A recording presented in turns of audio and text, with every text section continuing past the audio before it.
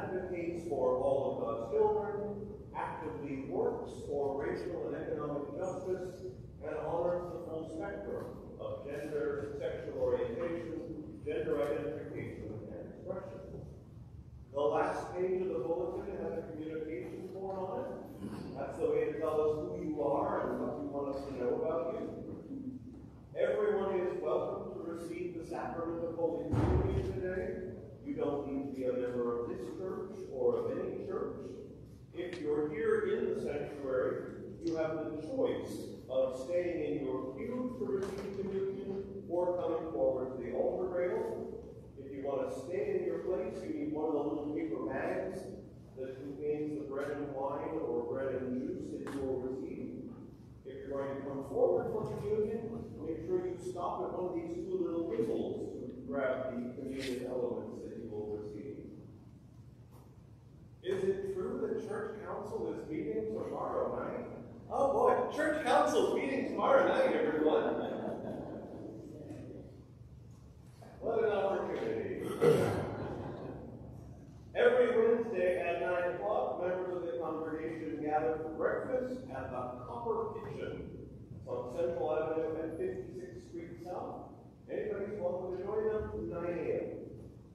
Our Thursday afternoon Bible study is going to take a short Christmas break for the mental health of the pastor. but this Thursday at 6.30, we will have the last of our gatherings in the fellowship hall for Advent worship, Bible study, and conversation about life in the modern city of Bethlehem. Everyone just brings a food or beverage item that can be shared with others. That's Thursday at 6.30. Anybody have plans for Friday evening?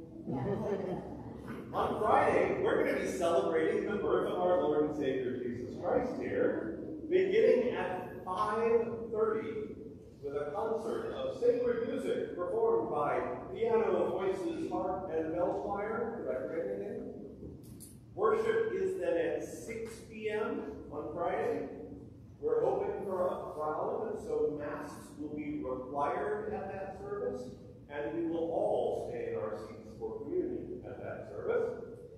After worship, you can then stay on for a Christmas reception up in our spacious third floor fellowship hall.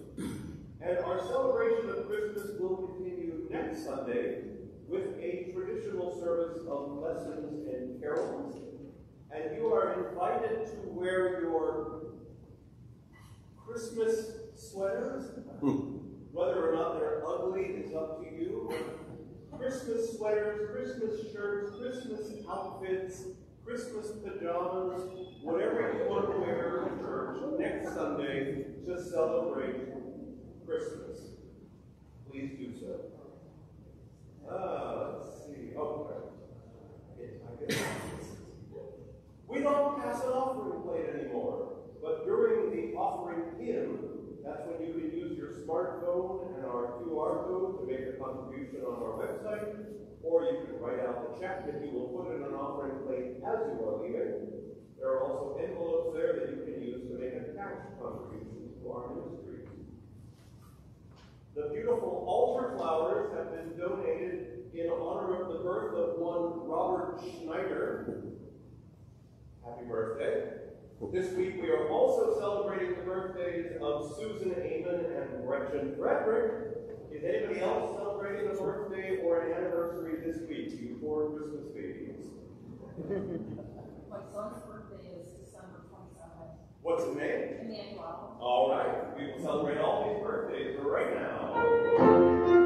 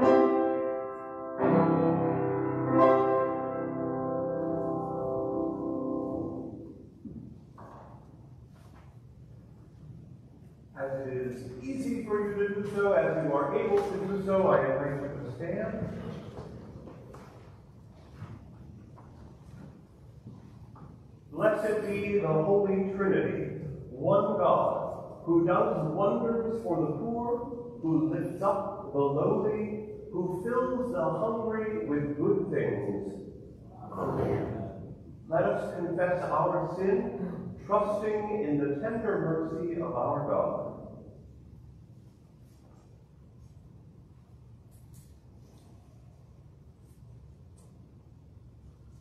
God, for whom we wait, we confess our sins to you.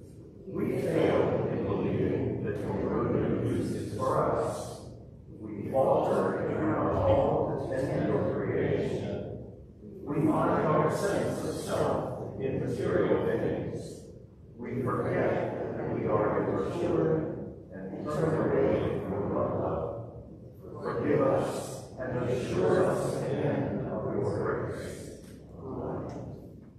God in Christ looks with favor upon you. Through the power of the Holy Spirit, your sins are forgiven. You are children of the And inheritors of the eternal promises. God strengthens you anew to follow the way of peace. Amen.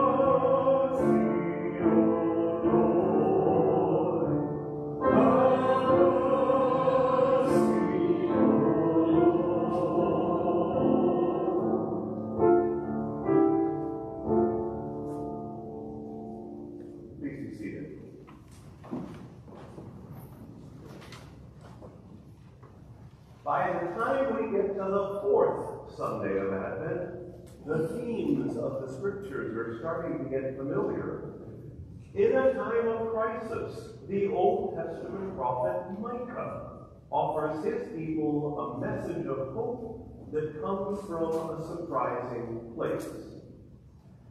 In the letter to the Hebrews, we explore the implications of God having a fragile human body. We have two readings from the Gospel of Luke, the first of which is Mary's song praising the power of God in unexpected places. John the Baptist makes his third appearance, albeit only in a small cameo role, in a scene in which two women discuss what God is doing within their bodies and what effect that will have on the rest of the world. Let us pray.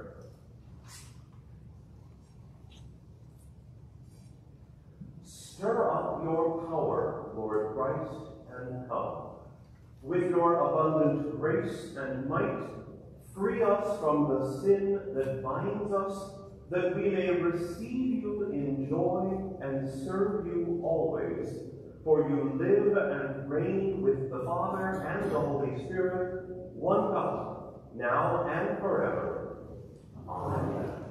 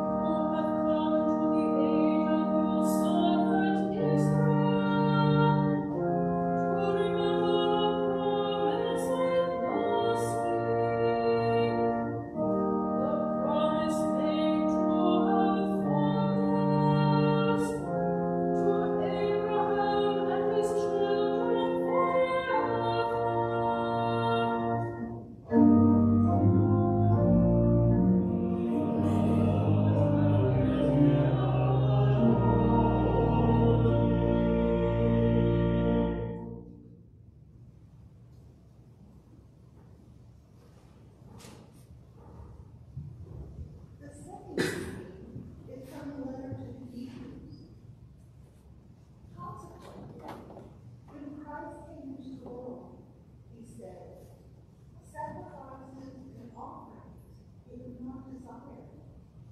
Let thought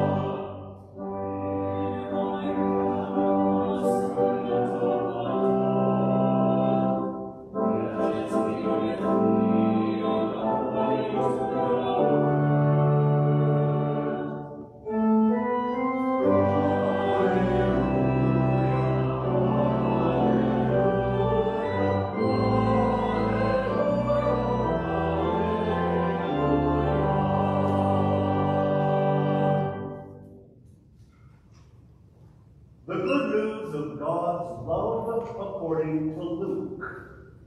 Glory to you, Lord. The angel said to Mary, The Holy Spirit will come upon you, and the power of the Most High will overshadow you. Therefore, the child to be born will be holy. He will be called Son of God. And now, your relative Elizabeth, in her old age, has also conceived a son. And this is the sixth month for her, who was said to be barren. For nothing will be impossible with God.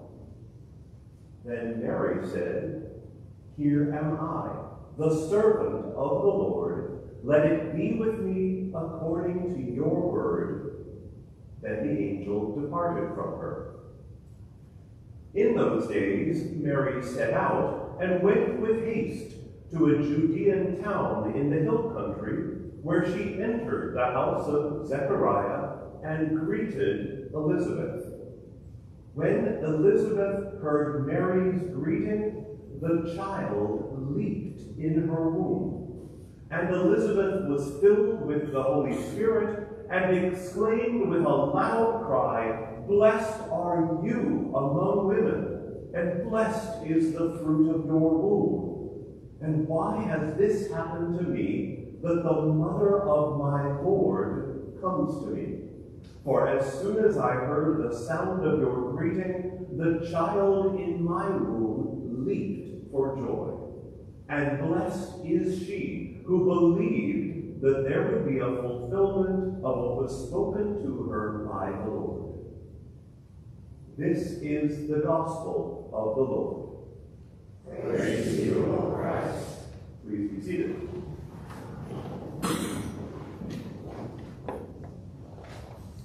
So is there anyone here who will confess to being a grammar nerd? You never end a sentence a preposition with. You know that it's supposed to be five items or fewer, not five items or less. If so, you will enjoy both of today's readings from the Gospel of Luke because of how they use the past tense, the present tense, and the future tense. The angel speaks to Mary in the future tense. The Holy Spirit will come upon you. The power of the Most High will overshadow you. The child will be holy. He will be called Son of God. Elizabeth speaks to Mary in the present tense. Blessed are you. Blessed is the fruit of your womb. Blessed is she who believed. And although our Bible translations go and fudge it a bit, in her song, everything that Mary says about God is in the past tense.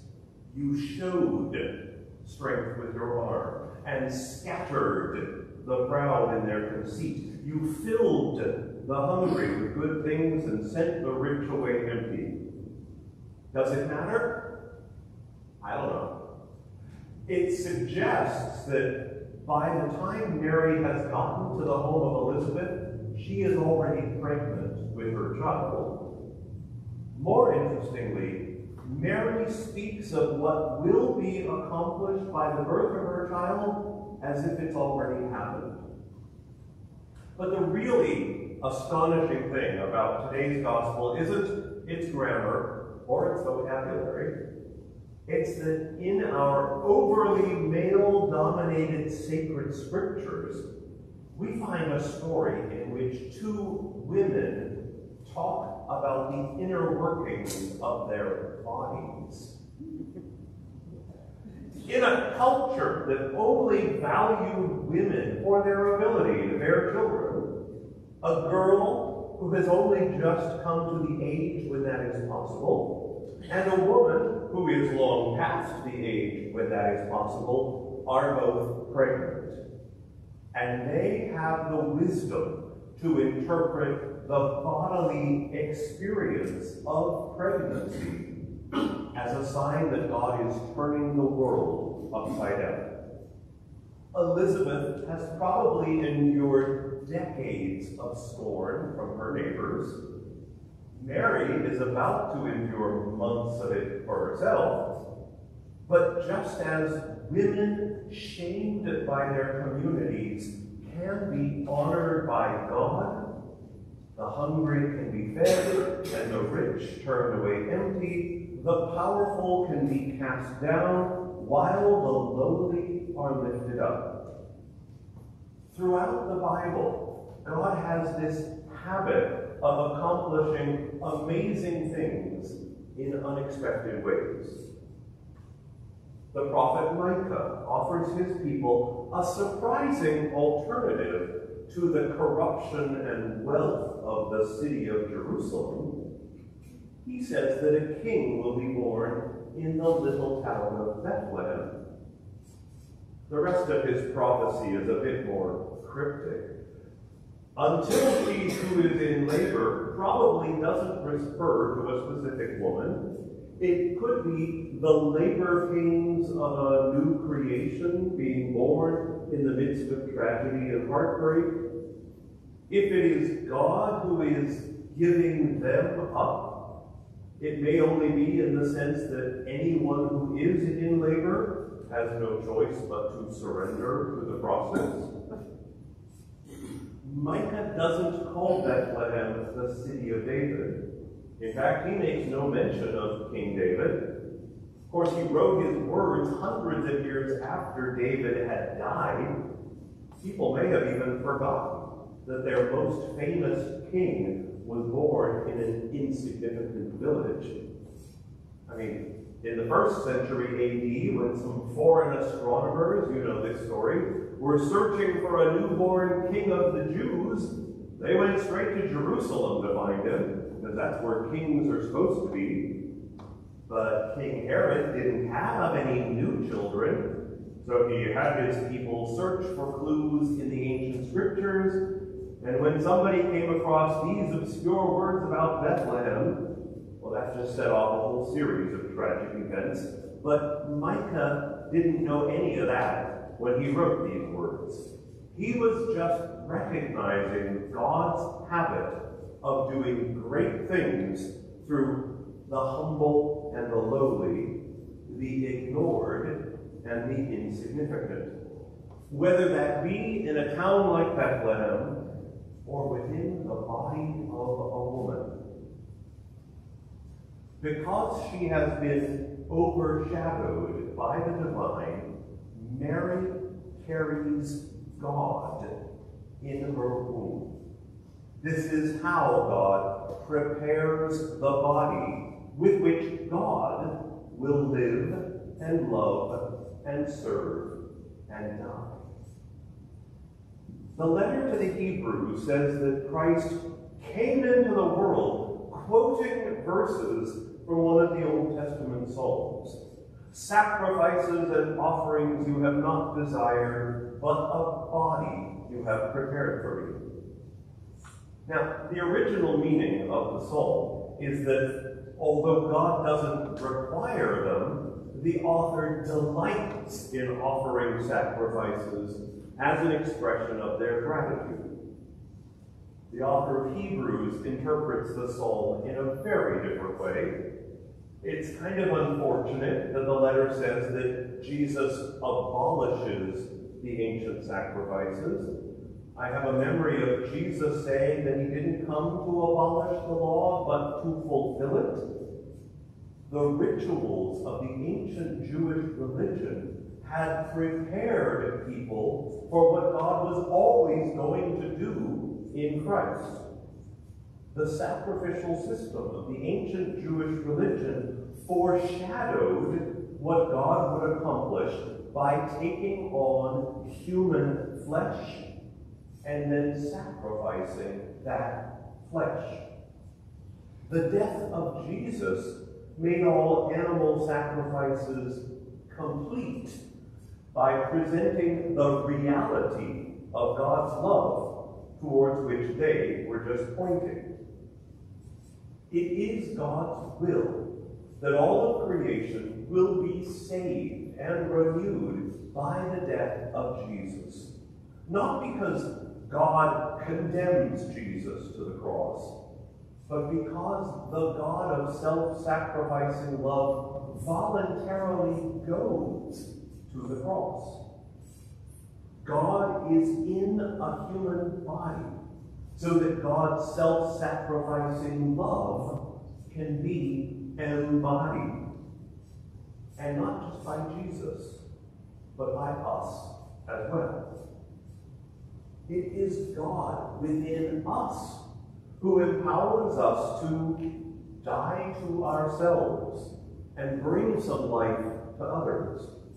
We embody the God who turns the world upside down, not with violent actions, but with our nonviolent and self-sacrificing attitudes and values. Blessed are we who trust in God's promises, and blessed is the fruit of our lives that we offer to the world. Just as God prepared a body for God's own self, God has prepared a body for each one of us. Tall or short, strong or weak, believing or weeping, we are painstakingly crafted in the image of Almighty God. Lord knows we may not have the body that we would have chosen. It may have too much pain or too much fragility for us to even see its worth. But it is the body through which God has chosen to do more miraculous things in the world. And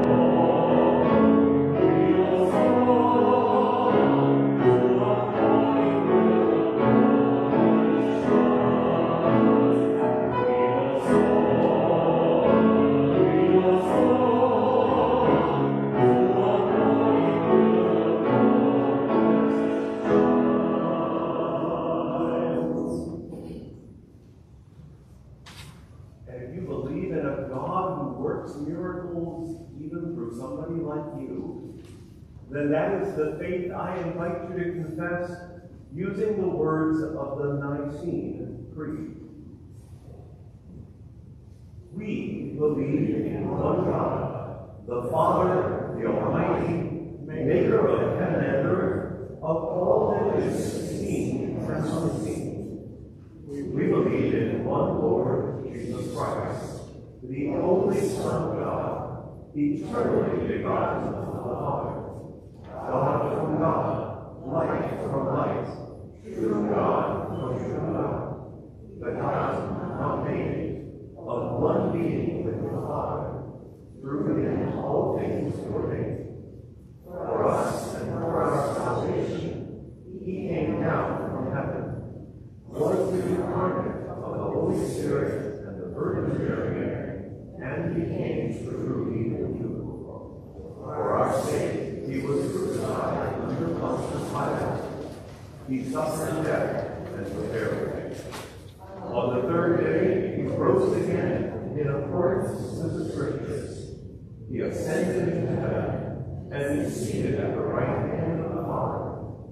He will come again in glory to judge the living and the dead, and his kingdom will have no end. We believe in the Holy Spirit, the Lord, the giver of life, who proceeds from the Father and the Son, who with the Father and the Son is worshipped and glorified, who has spoken through the prophets. We believe in one holy Catholic and apostolic church. We acknowledge one baptism for the forgiveness of sins. We look for the resurrection of the dead and the life of the world to come. Amen. Please be seated. In this season of watching and waiting, let us pray for all people and places that yearn for God's presence. Nurturing God, you give us life and provide for our needs. Use our bodies to bring your grace to all who are seeking it. Hear us, O God. Your mercy is great. Creator God, we love all that you have made. Make us servants of your handiwork. Hear us, O God. Your mercy is great. Righteous God, you bring down the mighty and lift up the lowly, inspire us to correct injustice and the imbalance of power. Hear us, O God. Your mercy is great. Compassionate God, you show us a mother's nurturing care. Comfort all who are sick, suffering, or in any need, especially Craig Maurer, Bill Deichel, Isaiah Carey, Joyce Dew, those who are suffering from the impact of COVID-19, and all whom we bring before you now.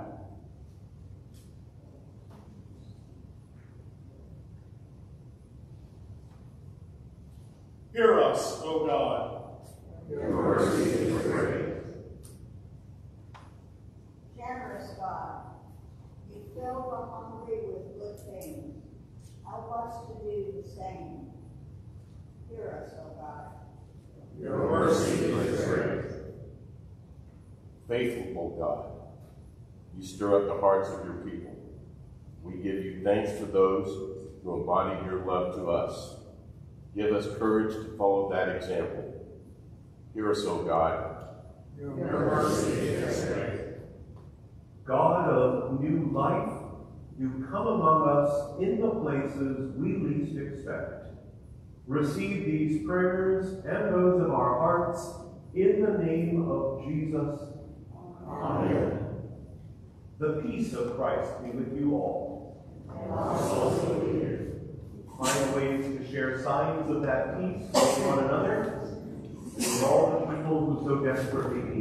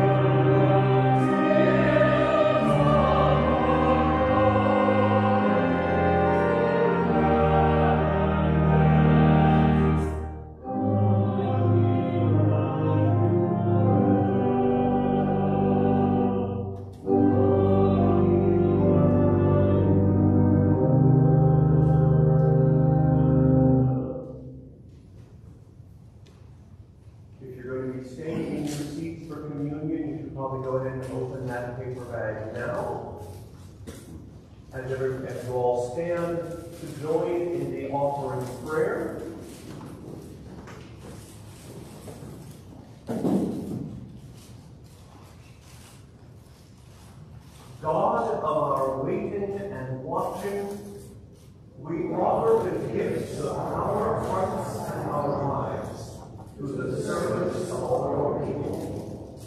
Prepare the way before us as we meet you in this simple meal through Christ Jesus, our pathway and our peace. Amen.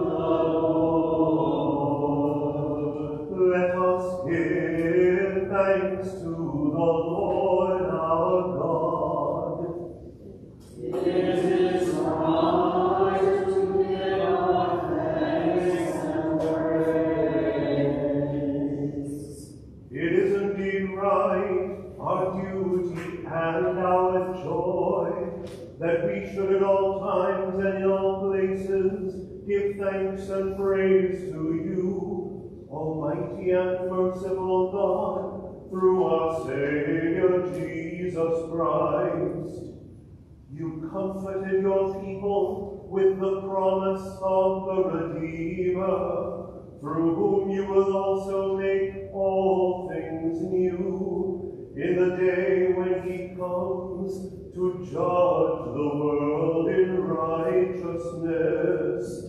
And so with all the choirs of angels, with the church on earth and the hosts of heaven, praise your name and join their unending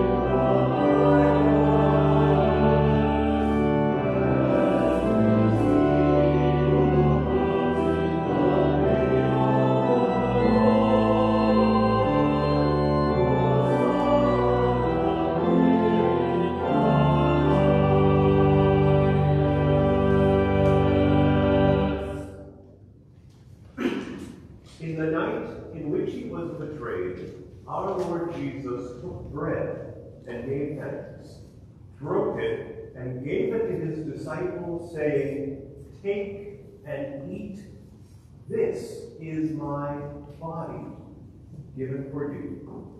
Do this for the remembrance of me. Again, after supper, he took the cup, gave thanks, and gave it for all to drink, saying, This cup is the new covenant in my blood, shed for you and for all people for the forgiveness of sin. Do this for the remembrance of me.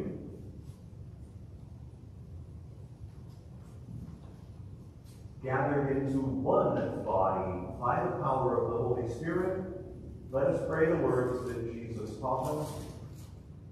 Our Father, who art in heaven, hallowed be thy name. Thy kingdom come, thy will be done, on earth as it is in heaven. Give us this day our daily bread, and forgive us our trespasses, as we forgive those who trespass against us. And lead us not into temptation, but deliver us from evil. For thine is the kingdom, and the power, and the glory, forever and ever. Amen. A feast of love is here. Taste and see that the Lord is good. Go ahead and be seated. Will the ushers tell you to come forward? Those of you who are staying in your seats can uncover the bread that you have. It is the body of Christ given for you. And then you can uncover the wine or juice. It is the blood of Christ shed for you.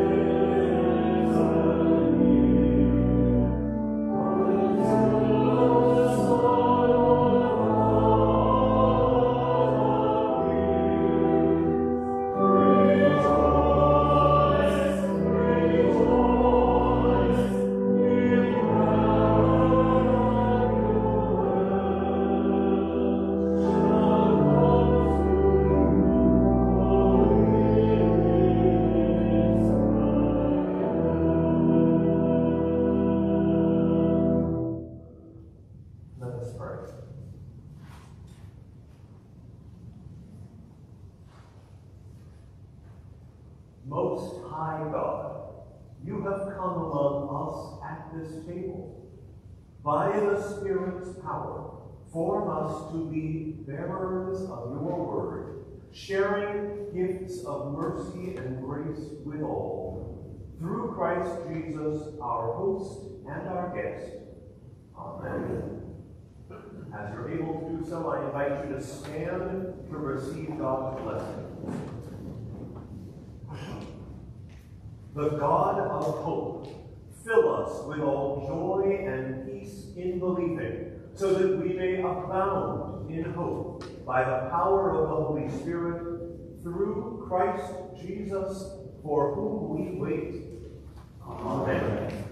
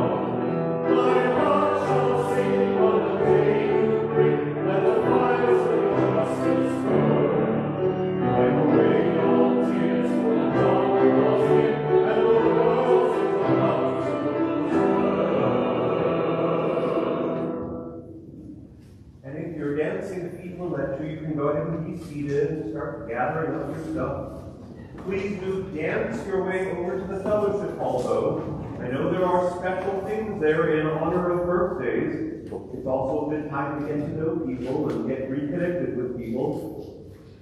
Go in peace. Christ is near. Thanks be to God.